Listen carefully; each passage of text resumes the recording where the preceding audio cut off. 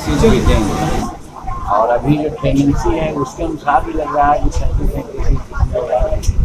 क्योंकि भारत का जहाँ तक सवाल है, हम लोग ने कहा है कि एन डी ए तीन सौ से ऊपर हम लोग जीते तीन सौ साठ और चार सौ की बात अब हम नहीं कर रहे हैं, लेकिन तीन सौ से ज़्यादा सीट पर हम लोग वहाँ जीतेंगे ये भारत की जनता का नरेंद्र भाई मोदी जी के प्रति प्यार और प्रतिष्ठा का एक प्रश्न है जिसके चलते बातें हो रही है बिहार में भी नीतीश कुमार जी का अच्छा काम रहा है, और नरेंद्र भाई मोदी जी का भी अच्छा सहयोग रहा है, और गया में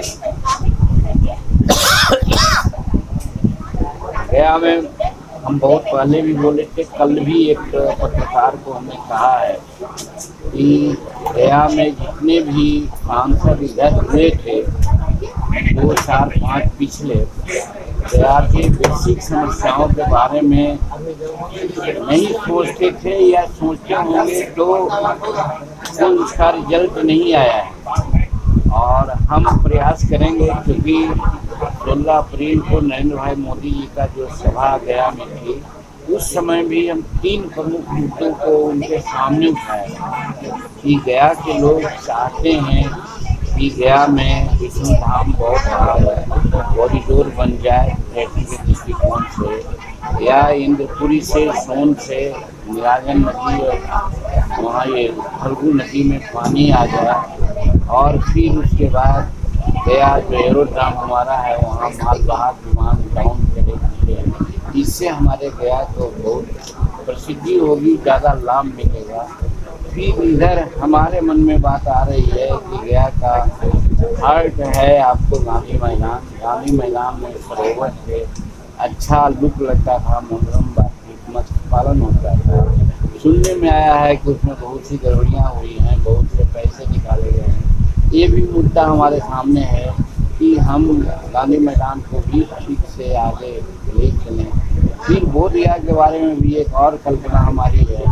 कि जब आगरा है, चाहे मथुरा है, ये सब में विकास, प्राधिकार हो सकता है। तो फिर बोध गया जो अंतर्राष्ट्रीय जगह है और उसको क्या कहा जाए, हर तरह से आगे बढ़े हेरिटेज सिटी के रूप में उसको लिया गया तो फिर, वहाँ पर विकास, प्राधिकार क्यों नहीं बन सकता? है ये सब सारी बातें हमारे दिमाग में है। जिसको माननीय प्रधानमंत्री जी के आशीर्वाद से हम पूरा करने का प्रयास करेंगे और वो पूरा होता है तो हम समझते हैं गया का बहुत बड़ा विकास होगा।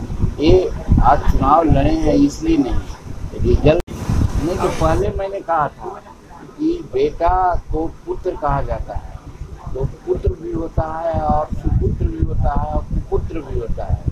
तो जब उनके पिताजी की हत्या हुई थी और उनके हत्या को हम सीबीआई से जाँच कराने के लिए आदेश दिया था मुख्यमंत्री को फिर जब हम मुख्यमंत्री से हट गए तो माननीय नीतीश कुमार जी ने उस आदेश को निरस्त कर दिया था।